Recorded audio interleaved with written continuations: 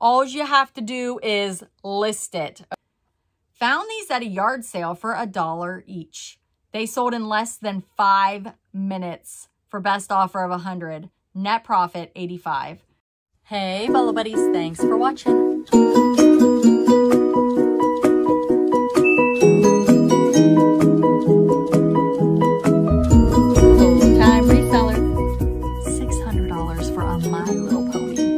Amazing, right? All right, let's get started. Hey, Bolo Buddies. Thanks for watching. All right, I'm going to rock my new Bolo Buddies hat in this video. Ah! All right, um, let's talk about some bolos. Let's talk about some items to be on the lookout for, some items that you can hopefully buy low and sell for a profit. In this video, I am going to tell you where they got it, what they paid for it, and what it sold for. And we are going to start with piece of scrap. Now, how does this work? If they are a Bolo Buddies YouTube member, which means they have joined memberships at level two, I am going to pop up their eBay store or their YouTube channel, whichever they prefer, and I'm going to link them down below. Definitely go subscribe to those YouTube channels and follow their eBay stores by clicking on the heart. These people are amazing bolo finders, okay? You're going to learn so much from them.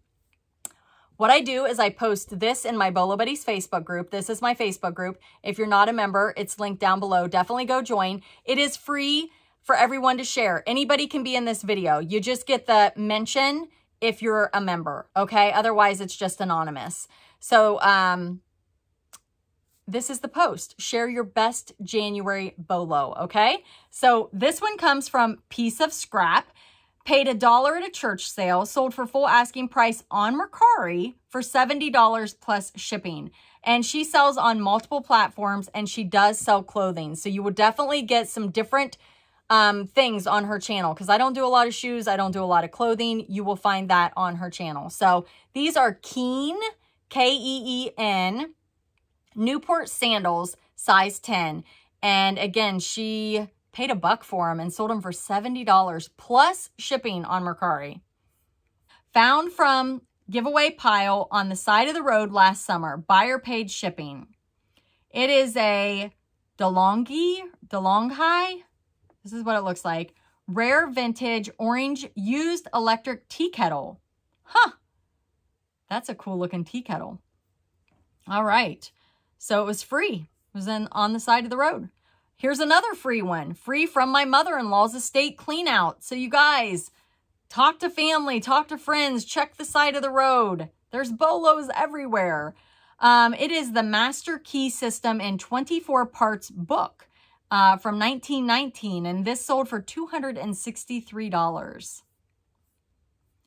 Warehouse pallet. Ooh, all right. We don't get a lot of pallet shares. So if you guys do pallets, definitely come share.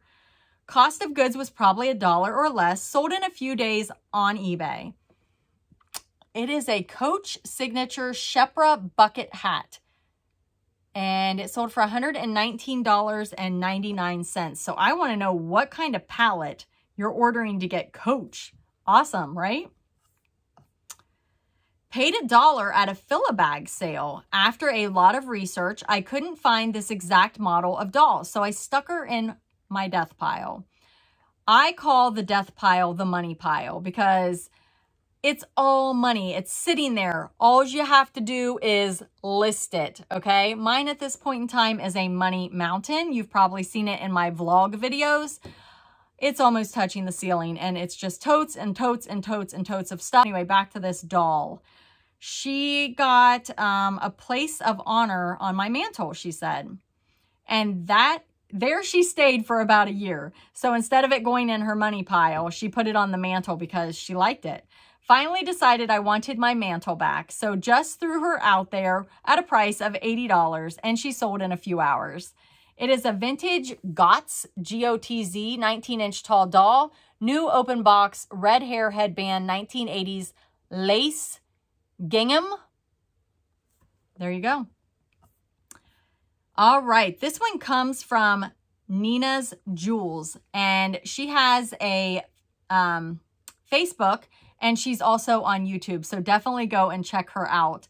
Um, These are steel toe chest waders. They were brand new, although the paper part of the tag was torn off. We paid 20 at a garage sale. They sold for our full asking price of $125.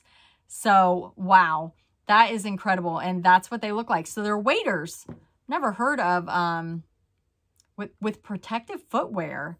That's definitely interesting. All right, this one comes from Mindful Recycle, who also is a member.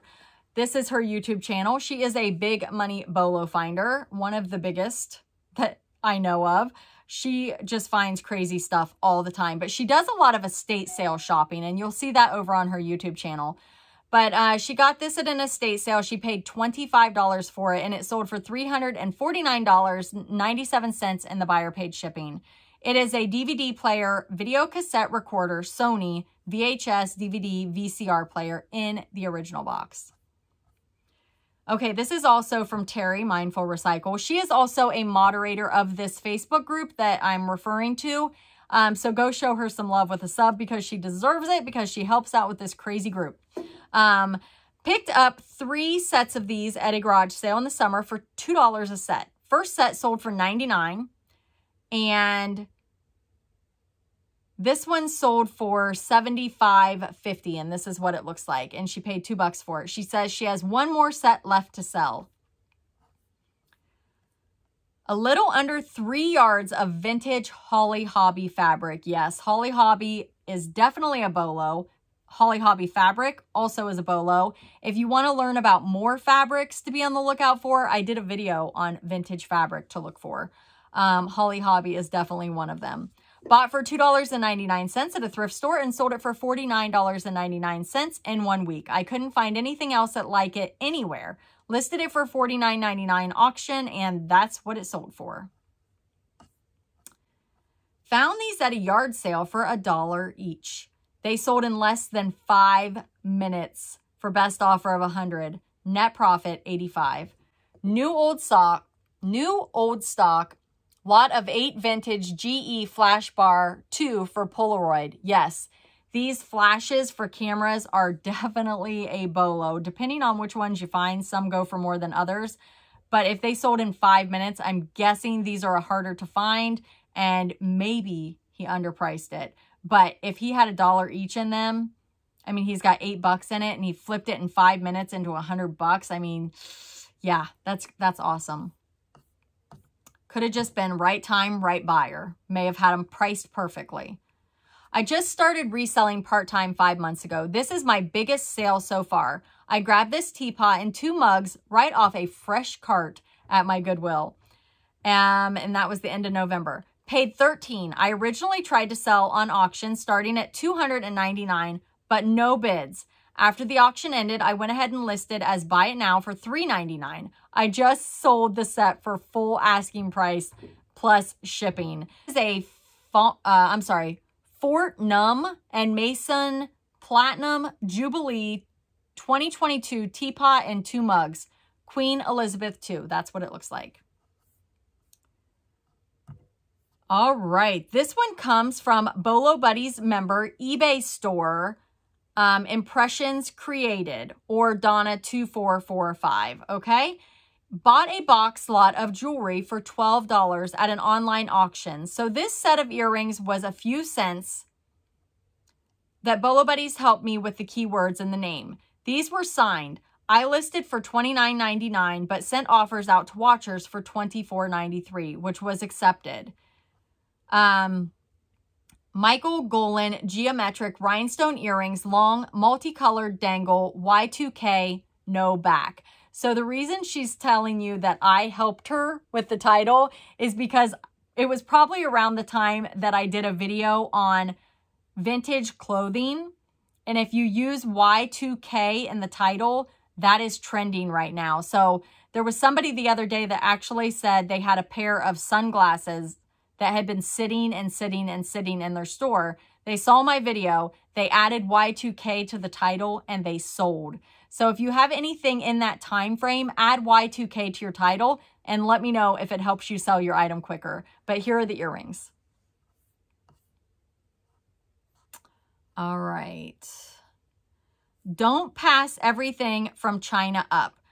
Probably another reseller put this in the free bin at the auction house. Sold within a week for full asking of $49.99 and 17 in shipping.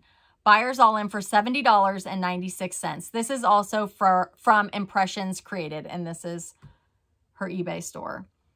Um, I'm not sure how to say this. I'm guessing that the Y is silent, so maybe Ixine, Zisha, clay Chinese ceramic teapot with two enamel coated cups. New old stock, new vintage. Very cool. And here is another one. Purchased at the Springfield Extravaganza for $60. Paid up more than usual because Bill Campbell retired last year. Listed it for $499 and took a best offer of $300. Someone messaged and informed me the marks on the bottom indicated that this was the first time he tried this glaze. Almost didn't sell. Wow. Check it out. So that is pretty incredible. And that's cool that somebody messaged her and let her know.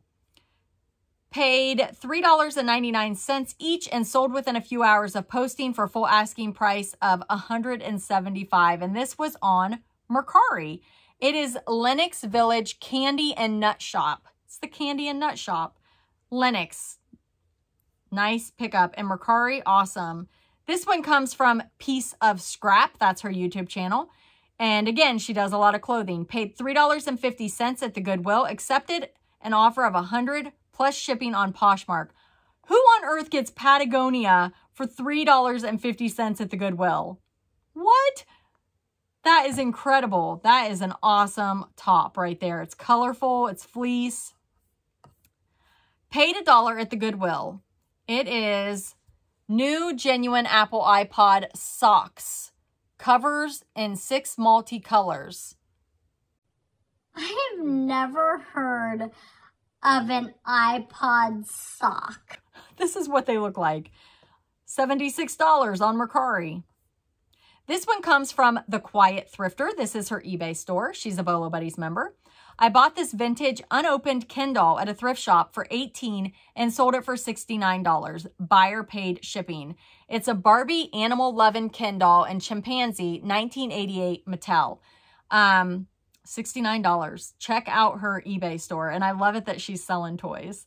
Um, Jody Toy Addict recently uh, talked about the pink boxes and that they are starting to go for more money. So if you see a pink box, before, a lot of those were bread and butter, but it sounds like they are, the market's picking up on those. So definitely look them up. This one comes from Champagne Taste 73. Um, today, I sold two items from the, the, to the same person for 250 I bought them on eBay for 40 per set. They paid tax and shipping. They are gorgeous jewelry sets from Czechs Czechoslovakia.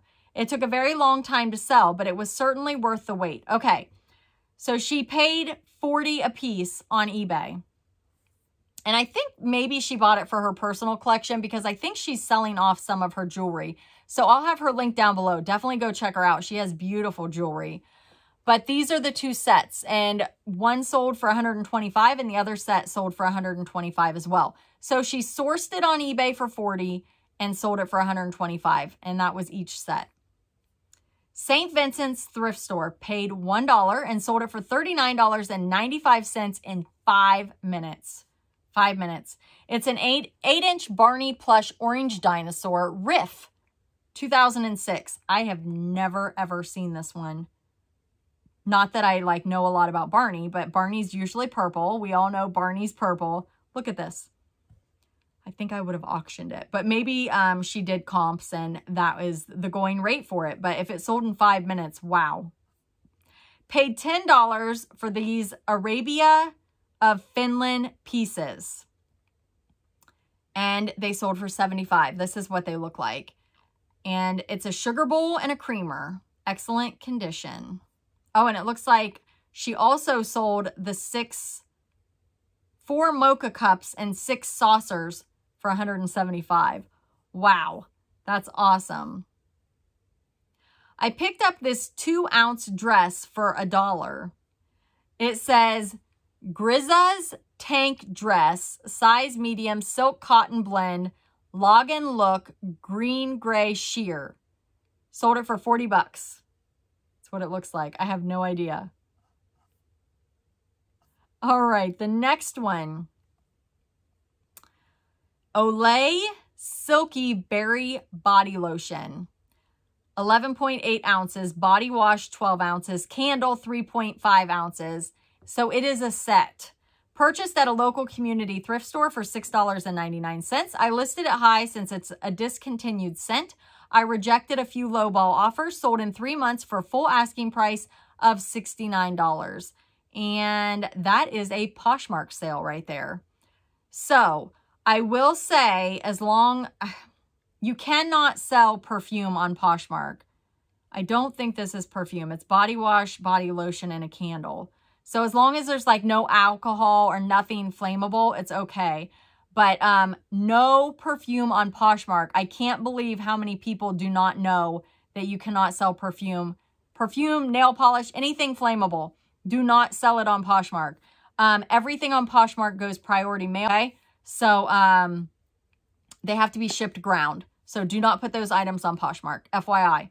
Um, check the back of the label. It should say the contents. A lot of times it will say if it's flammable or not. Is it flammable or flammable? Flammable, right? I saying it wrong? Oh, well, you know what I mean. All right, you guys, thank you so much for being here. Thank you for watching. If you're new here, I mispronounce things all the time. Nothing new. Nothing new here. Um, if you're new, let me know how you found the channel. Be sure to subscribe, like, comment, and if you'd be so kind to share, that would be awesome. Um, I appreciate all of you. Leave me an emoji of a heart down in the comments or just write the word heart. Thanks for watching. One right here is a Lenox. Oh, there's no information. Disregard. We're not going to do that one. Sorry, guys.